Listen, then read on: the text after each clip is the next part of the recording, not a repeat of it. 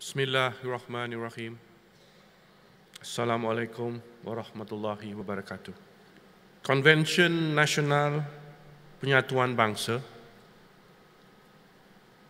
dianjurkan sempena sambutan 60 tahun penubuhan Universiti Teknologi Mara. UITM ialah sebuah institusi pendidikan negara yang ditubuhkan khusus untuk membangunkan modal insan Melayu dan bumi putra di negara ini. UITM telah melalui pelbagai tahap pembangunan bermula dengan pembentangan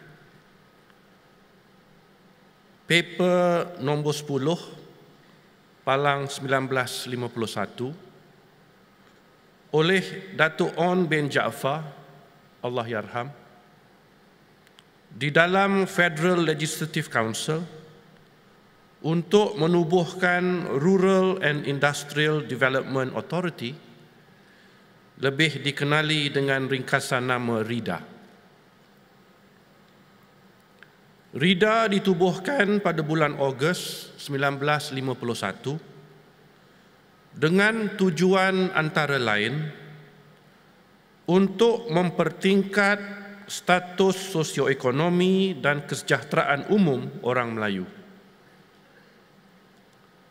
Seksyen 5 kertas yang dibentangkan secara jelas menetapkan objektif penubuhan RIDA. In order to be able to utilize the resources of government and to stimulate the interest and obtain the support of the people in the kampungs, it is essential that every effort be made to bring the people closer to the government and train them to bring their needs before the government through a systematic channel, initiating from the kampongs and moving progressively to RIDA as the appropriate instrument set up for the purpose. Orang kampung yang dimaksudkan merujuk kepada masyarakat desa yang terdiri daripada orang Melayu. Semasa tanah Melayu berada di bawah naungan pemerintahan Inggeris, orang Melayu telah dinafikan banyak perkara di tanah airnya sendiri terutama di bidang-bidang perniagaan, perdagangan, usahawan, pekerjaan dan pelajaran.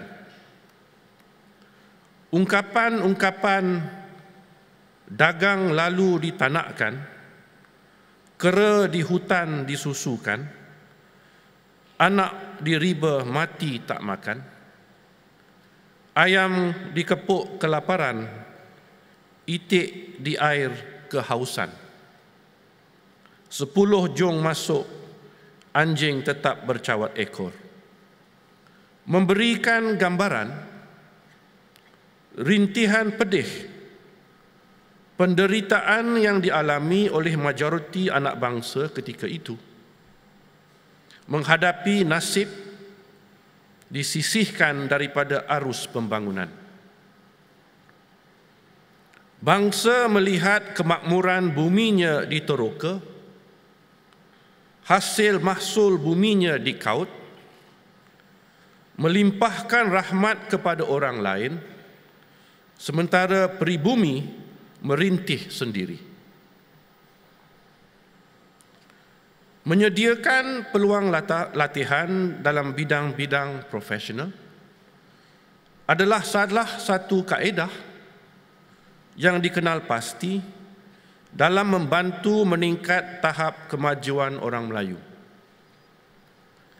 Dewan Latihan Rida ditubuhkan pada November 1956 dan dirasmikan pada 14 Februari 1957 oleh Menteri Perdagangan dan Industri Tun Dr. Ismail bin Datuk Abdul Rahman Allah Yarham. 25 pelajar penggambilan pertama telah mengikuti kursus persediaan London Chamber of Commerce, stenografi, secretaryship dan accountancy. Kursus-kursus untuk peniaga-peniaga kecil turut dianjurkan. Convocation pertama pada tahun 1962 menyaksikan 50 graduan menerima sijil daripada Timbalan Perdana Menteri. Tun Haji Abdul Razak Datuk Husin Allah Yarham. Dua peristiwa pada tahun 1965 telah mempengaruhi arah haluan program pendidikan dan latihan di negara ini terutama agenda pendidikan Bumi Putra. Peristiwa pertama ialah kaji selidik tenaga manusia yang dilakukan antara Februari hingga Mei 1965. Kaji selidik yang dibiayai oleh kerajaan Malaysia dan dilaksanakan dengan bantuan pertubuhan bangsa-bangsa bersatu bertujuan menaksir keperluan keperluan tenaga manusia ketika negara sedang menggubal plan rancangan Malaysia pertama. Kaji selidik tersebut menunjukkan negara menghadapi kekurangan ketara tenaga profesional yang memerlukan negara menambah baik dan menyusun semula program pendidikan. Peristiwa kedua ialah Kongres Ekonomi Bumi Putra pertama yang berlangsung pada 5 hingga 7 Jun 1965. Antara perkara yang mendapat perhatian utama Kongres ialah pembangunan yang tidak seimbang antara bandar dan desa serta kedudukan sosial dan ekonomi Bumi Putra. Kongres Ekonomi Bumi Putra telah menghasilkan 68 resolusi. 22 daripada resolusi yang dihasilkan menyentuh RIDA. Mengusulkan supaya dilakukan penilaian semula peranan dan objektif penubuhan rida. Susulan daripada kongres tersebut, Majlis Amanah Rakyat atau MARA ditubuhkan. Dewan Latihan Rida bukan sahaja ditukar namanya kepada Maktab MARA, tetapi turut melibatkan rombakan serta tambah baikkan kursus-kursus dan kurikulum yang ditawarkan. Pada 14 Oktober 1967, ketika upacara peletakan batu asas di kampus Shah Alam, Tun Abdul Razak mengumumkan maktab MARA ditingkatkan ke taraf institut dikenali dengan nama Institut Teknologi Mara. Bermulalah kisah kejayaan sebuah institusi pendidikan negara. Seawal tahun 1973, ITM mula menunjukkan kejayaan menyerlah.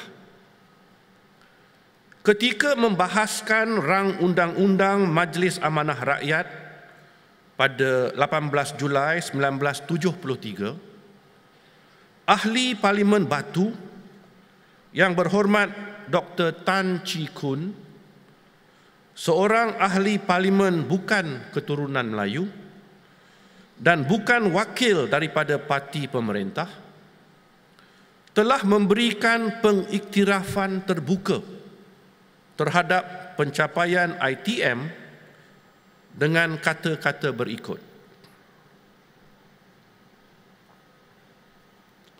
Mr. Speaker, sir, Mara should concentrate on training and in this connection, I wish to congratulate the MIT or the Mara Institute of Technology on the excellent work it is doing. In the words of the Deputy Prime Minister, Mara has a sacred mission to carry out and it is undertaking this task with great success. The MIT or ITM shows what a dedicated Malay can do for the Bumiputras. And this afternoon, I wish to congratulate Dr. Ashad bin Ayub on the excellent work he is doing for MIT.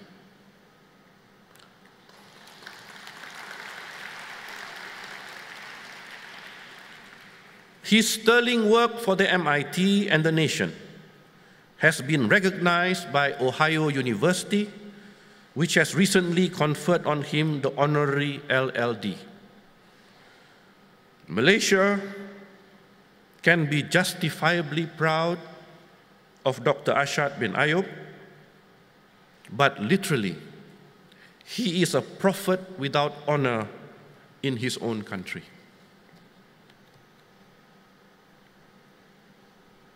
Yang berbahagia Tan Sri Ashad, rakan-rakan seangkatan, juga rakan-rakan sebelum dan selepas beliau,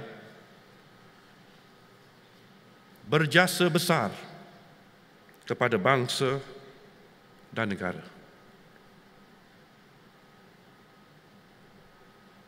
Semoga Allah Subhanahu wa taala melimpahkan setiap mereka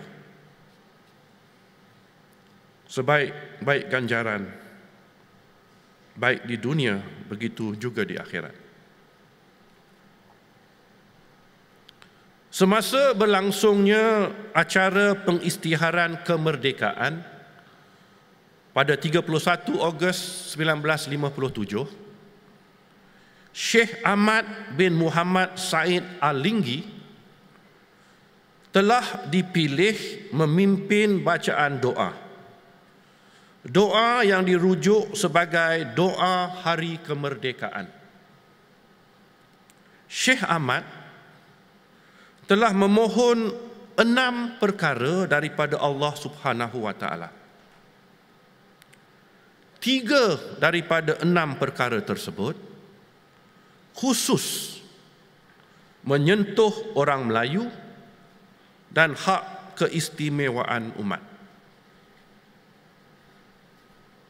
Pertama, Ya Allah, anugerahkanlah taufik kepada sekalian pentadbir awam, jemaah menteri, para sultan dan raja, serta pemimpin negara bagi memelihara kehendak-kehendak agama, memelihara hak keistimewaan umatnya, menegakkan keadilan undang-undang dan berpegang kepada keindahan Islam.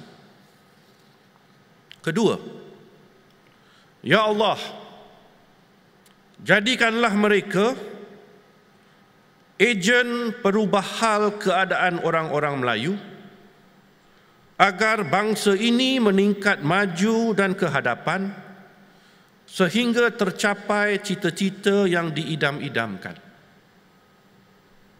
Ketiga, Ya Allah, bantulah bahasa bangsa Melayu, bimbinglah serta jadikanlah kami menjadi sebaik-baik manusia.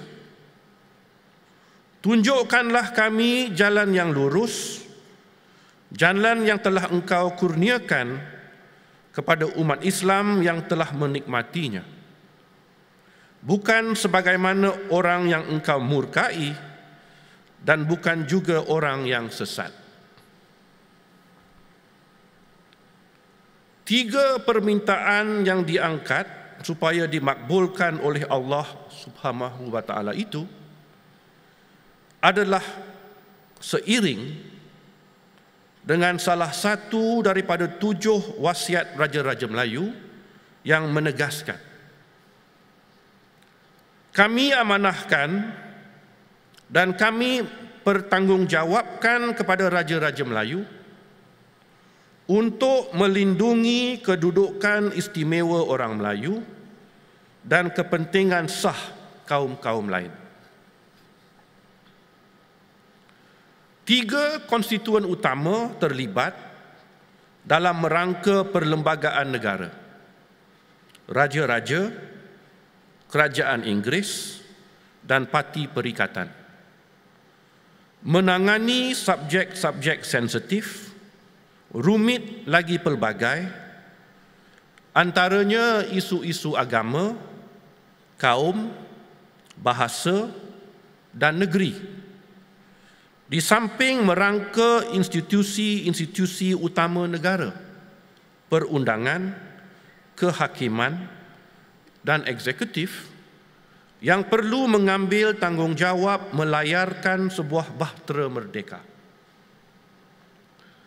Mengolah formula penyatuan dalam kepelbagaian memerlukan kefahaman tentang fakta dan salah silah sejarah memerlukan kesediaan berundur sebelum mara, memerlukan keberanian menerima realiti, memerlukan ketegasan mempertahankan prinsip.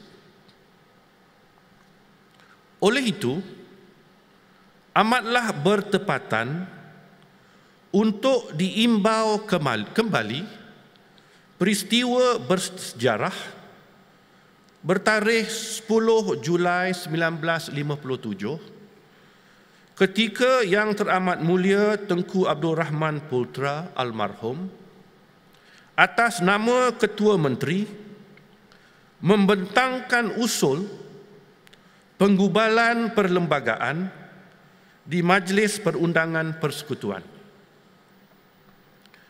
Beta memilih memetik bahagian tertentu daripada ucapan tersebut dalam bahasa yang diucapkan agar semangat dan intonasinya dapat diberikan apresiasi sewajarnya.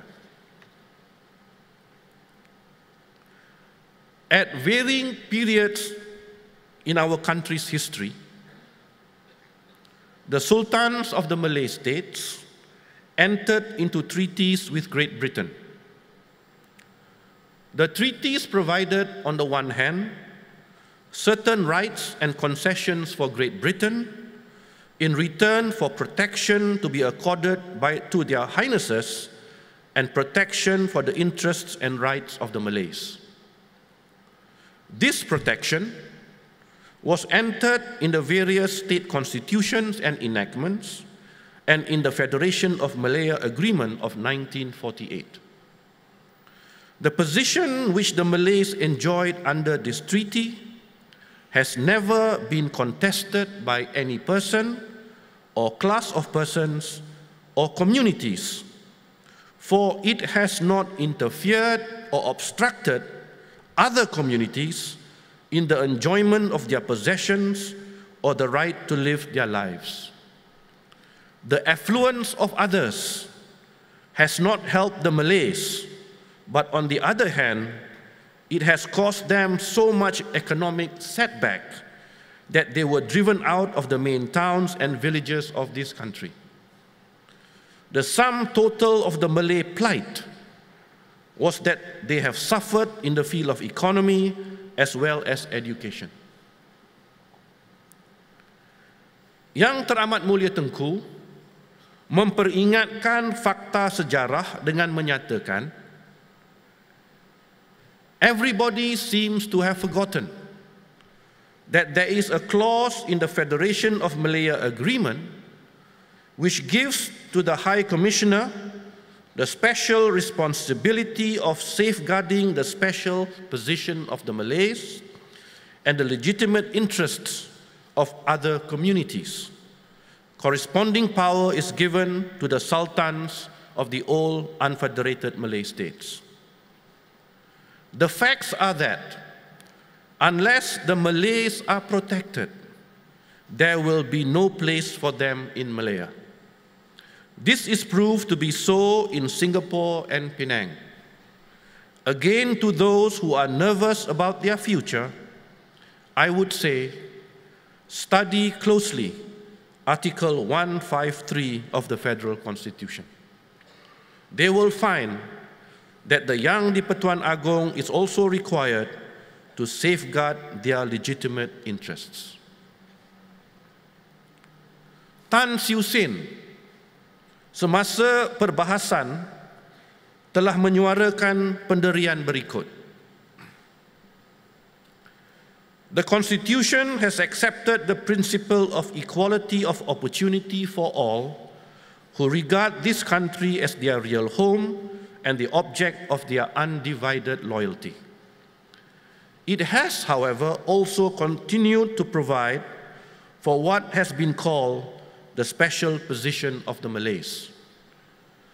Some Chinese quarters regard this as a contradiction of the main principle and hence unjust. I beg to differ from them. In the first place, the principle of the special position of the Malays has already been embedded in the Federation of Malaya Agreement. The Malays, therefore, cannot be expected to give up what they already have in the same way that they do not expect the other communities to give up their existing rights. Far more important, however, is the indisputable fact that as a race, the Malays are economically backward and well behind the other races. The main object of this provision is to ensure that the Malays do not lose the little they already have and, if possible, be given a reasonable handicap to enable them to catch up with the other races. An economically depressed Malay community in a prosperous Malaya will not mean a peaceful Malaya. An economically depressed Malay community will never be able to achieve the desired degree of cooperation with the substantially more prosperous non-Malay communities. It has also been asked why it has not been explicitly stated that this provision is only temporary. I would remind our critics that the Malays are a proud and sensitive race. They are also an intelligent race, and I know that they appreciate the significance and implications of this provision far better than most people realize. VT Sambantan antara lain telah memperingatkan. We hear it spoken, sir, of first-class citizen one who is badly provided with roads, has a leaky roof over his head, cannot even get a doctor on a rainy day, even if his child is ill.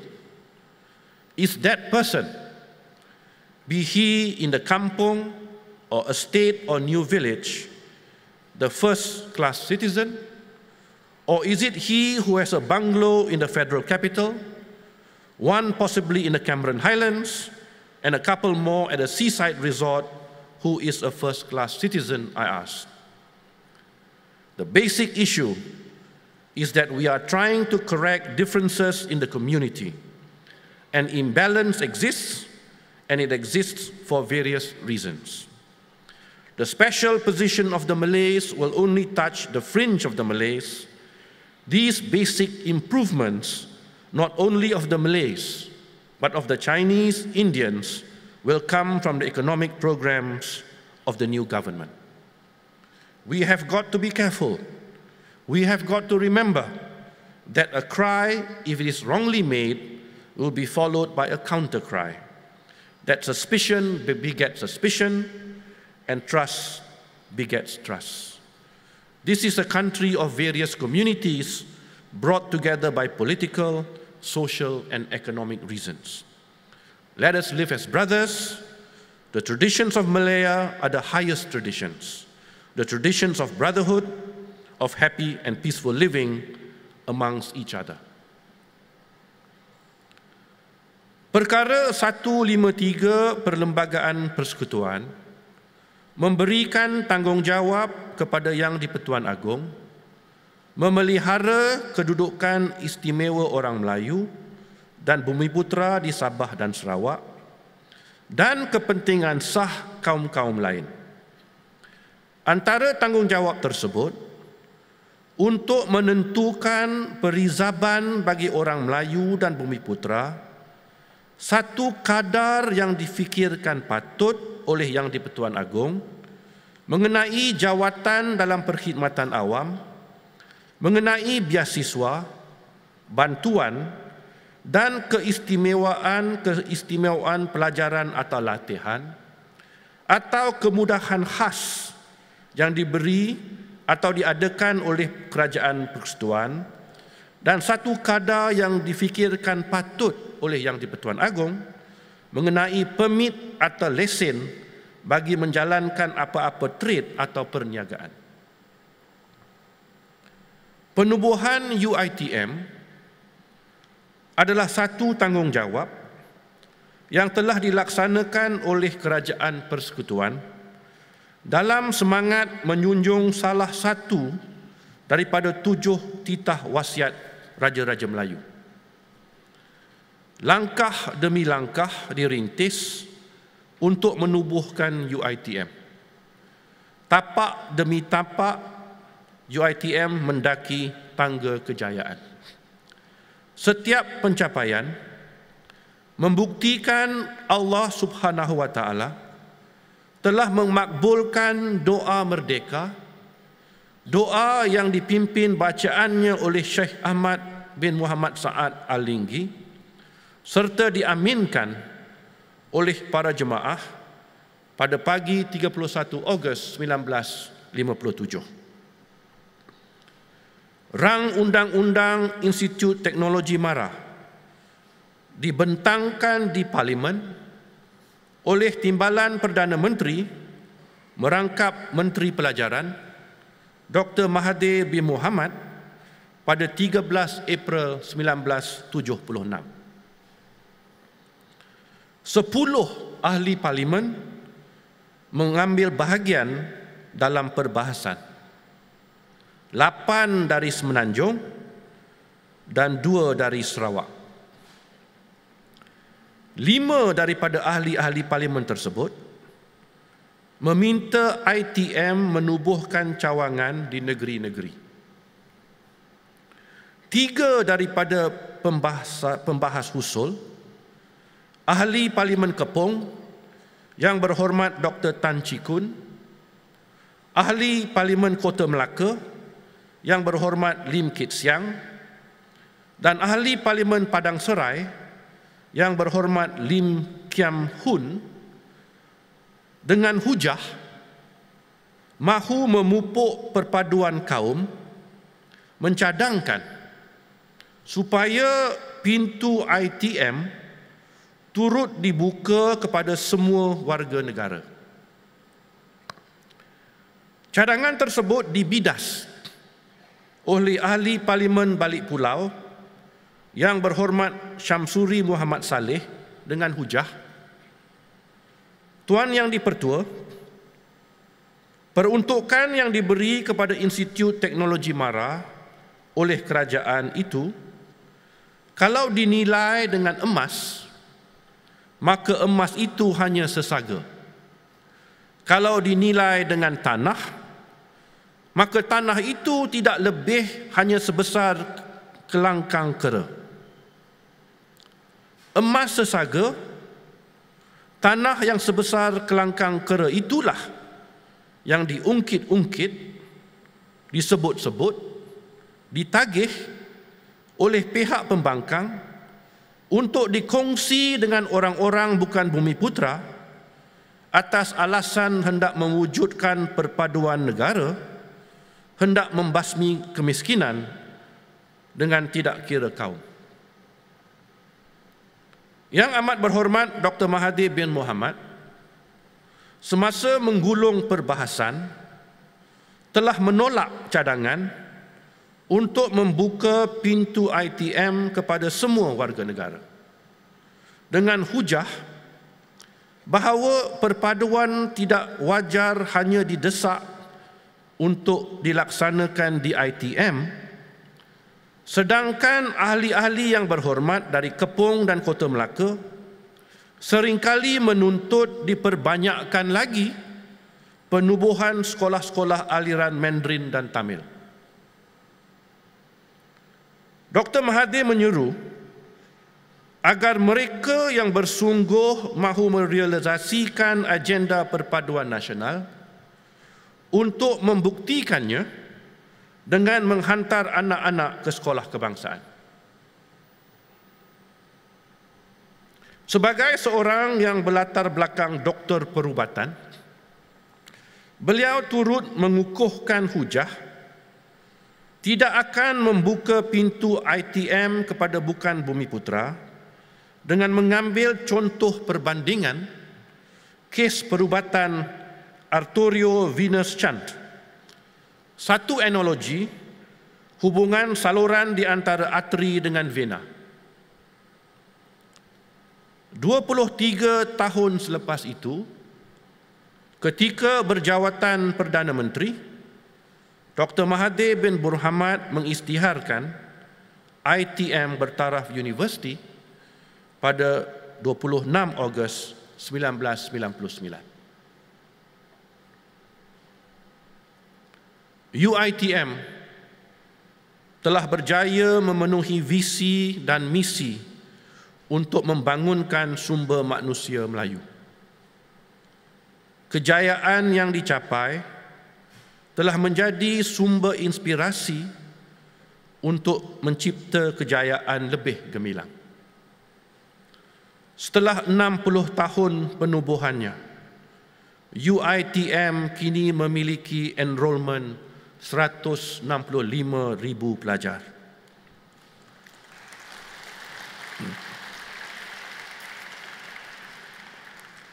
Disokong dengan kekuatan 500 program pengajian akademik yang dikendalikan oleh 24 fakulti serta 4 pusat pengajian. Di samping kampus induk di Shah Alam, tersebar di serata negara, 12 kampus cawangan dan 21 kampus satelit yang tanggungjawabnya didukung oleh 18,188 staf akademik, staf pengurusan dan staf sokongan. Sehingga November 2016, UITM telah mencatat rekod menghasilkan 687,176 graduan.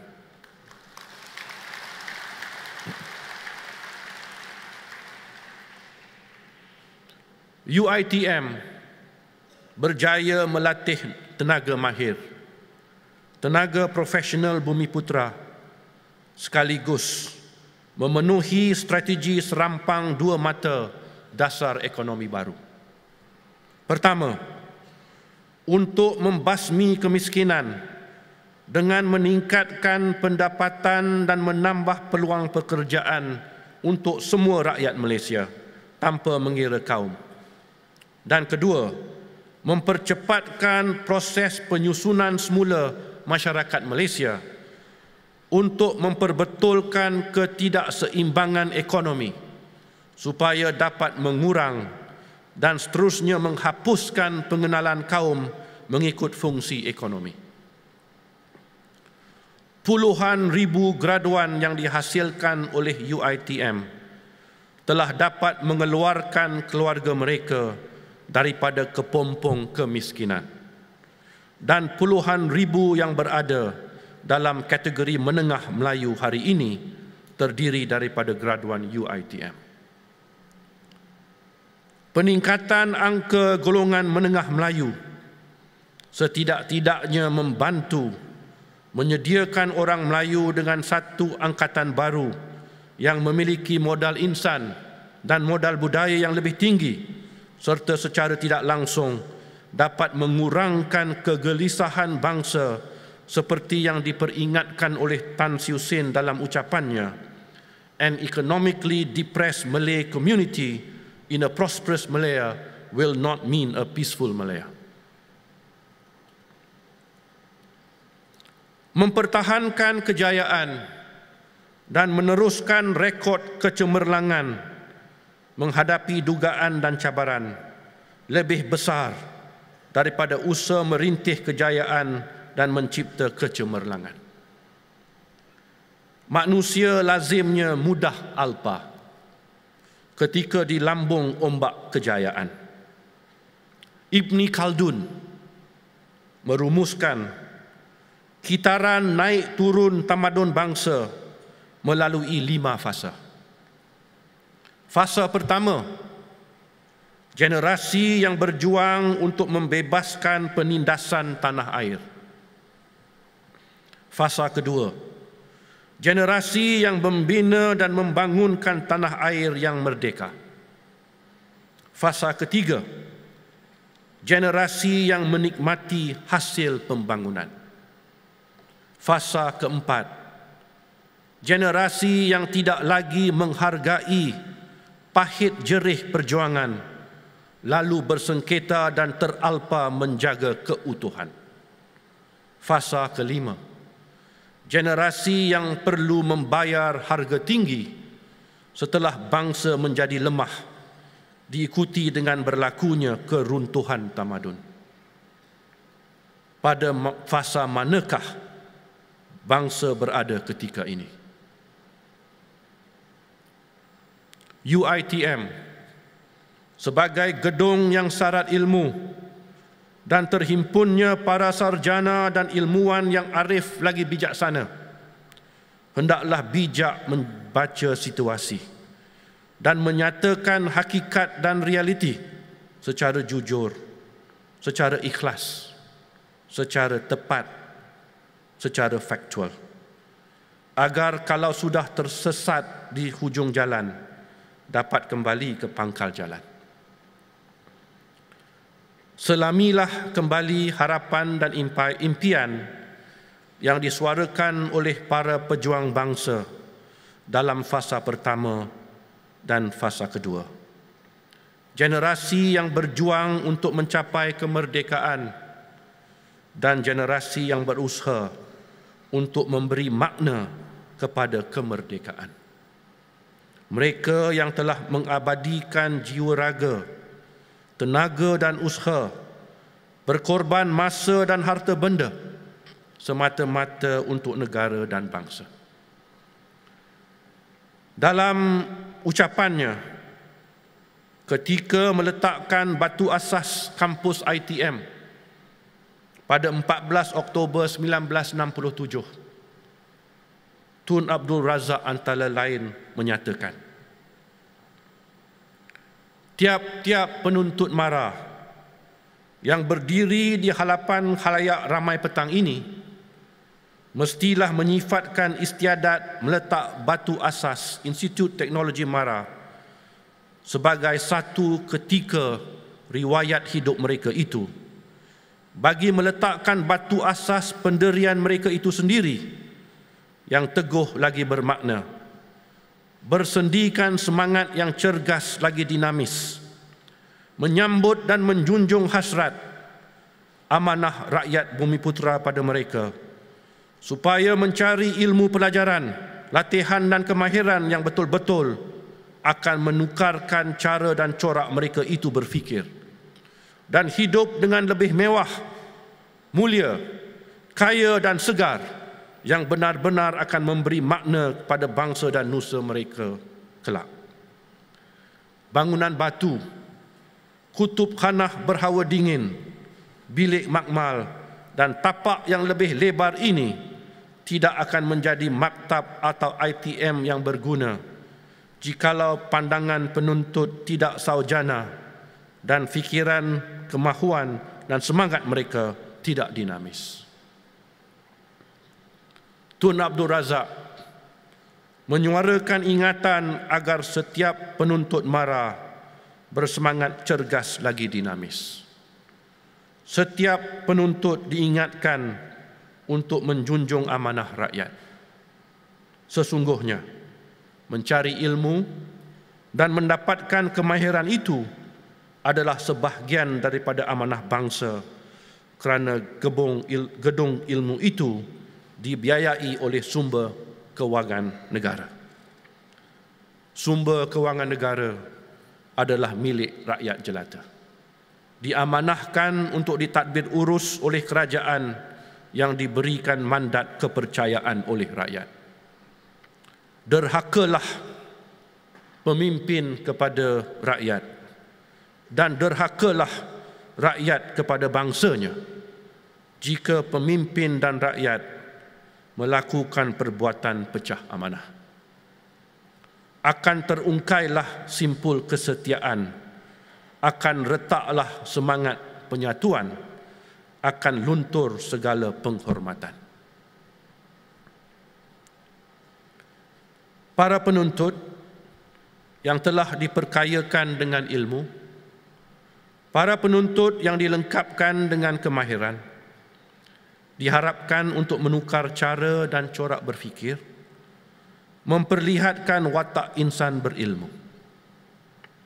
Pendidikan itu bertujuan untuk menggantikan minda perhambaan yang kosong dengan minda berdeka yang terbuka.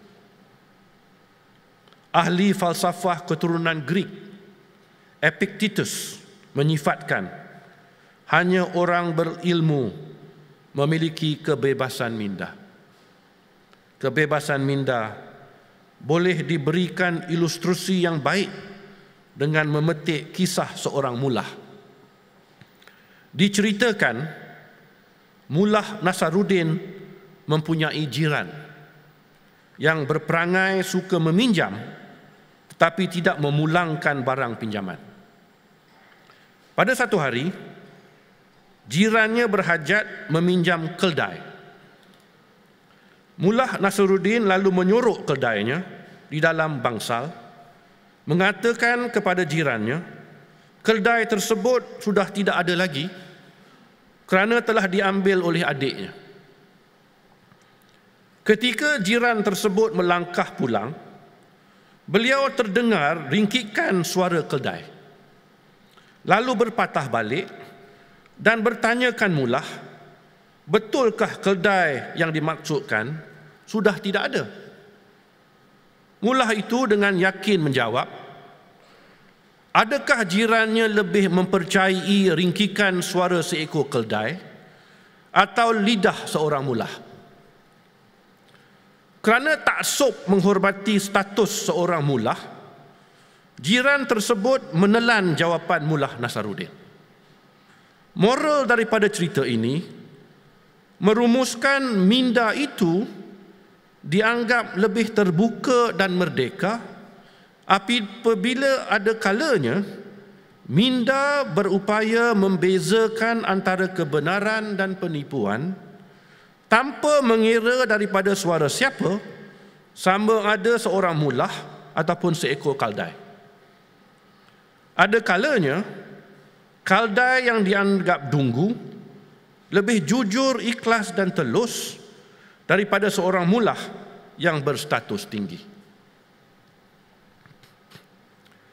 Tun Abdul Razak juga mahu melihat penuntut keluaran mara dapat hidup lebih mewah, lebih mulia, lebih kaya dan lebih segar tetapi hendaklah memberi makna kepada bangsa dan nusa dan tidak semata-mata untuk memenuhi nafsu haloba tanpa batasan hingga matlamat menghalalkan cara. Hasrat untuk dapat hidup lebih mewah dan lebih kaya hendaklah dirangkaikan dengan nilai dan imej lebih mulia.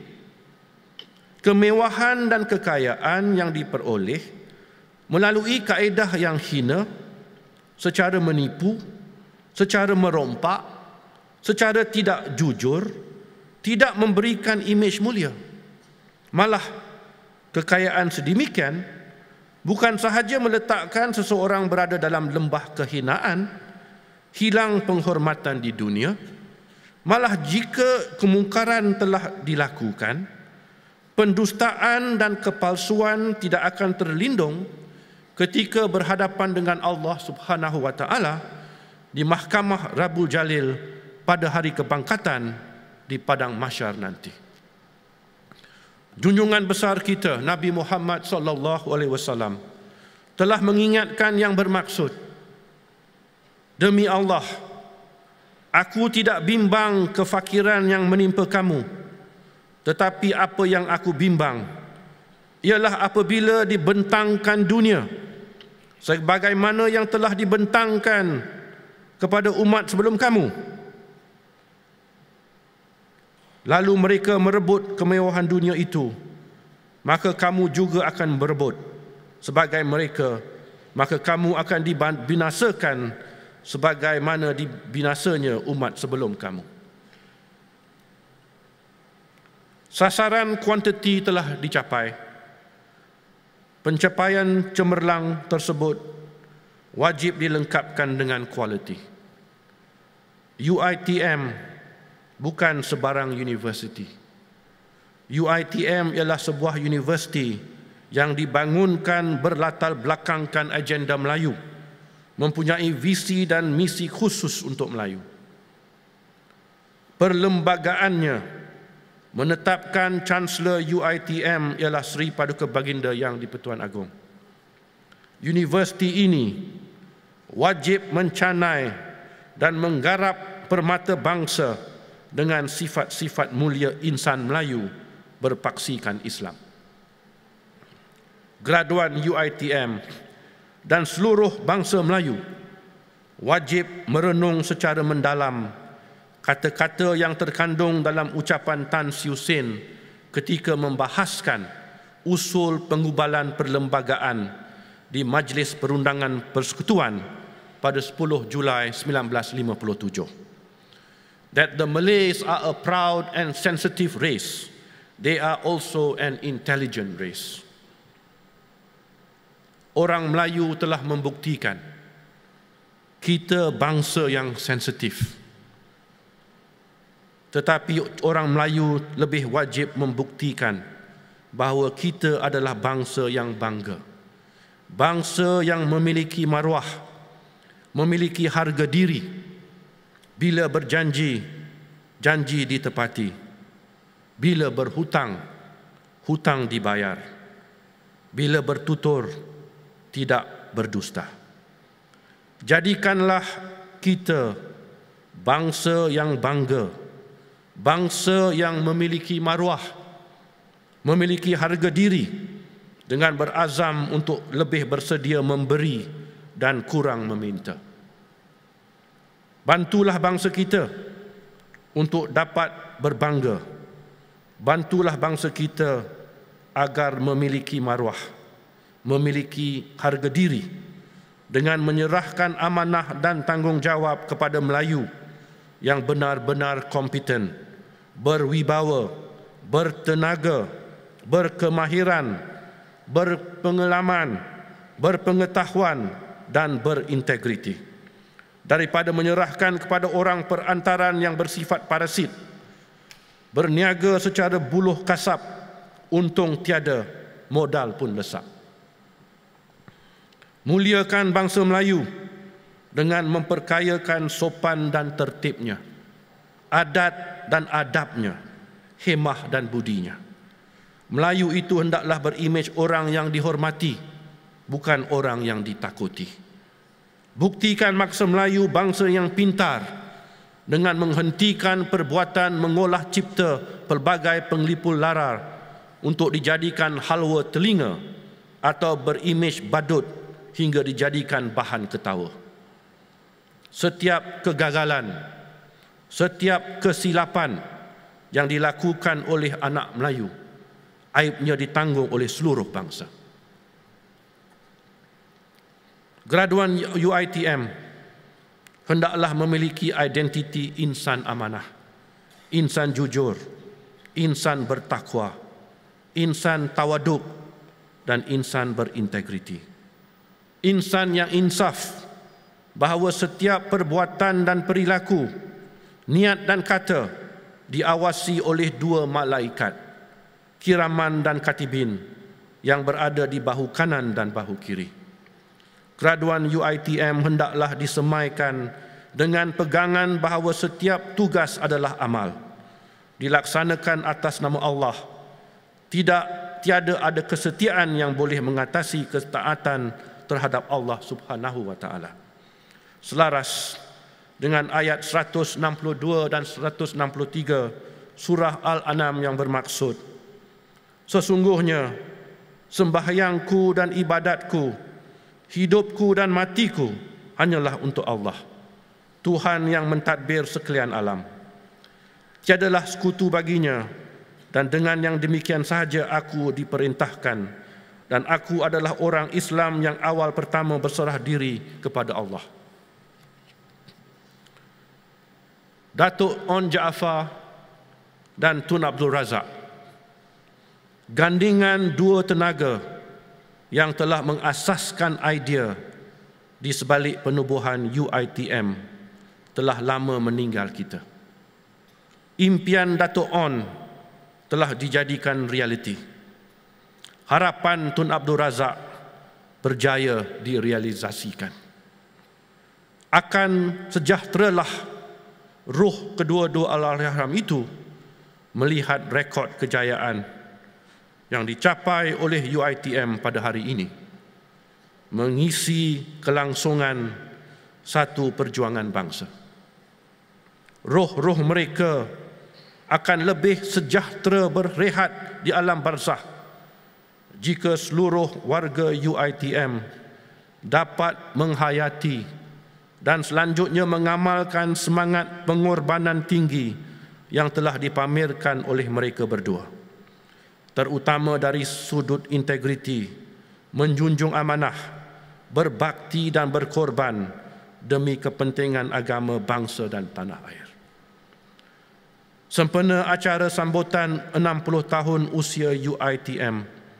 Sama-samalah kita menghargai jasa dan khidmat bakti barisan pemimpin yang mempunyai wawasan dan tanggungjawab di sebalik kejayaan UITM. Serta setiap seorang yang telah mencurahkan jasa bakti membangunkan UITM. Semoga Allah Subhanahu wa taala melimpahkan ganjaran rahmat kepada mereka semua. Dan kepada mereka yang telah kembali ke rahmatullah, kita pohonkan ihsan ilahi untuk menempatkan roh mereka di kalangan roh para solihin. Al-Fatihah.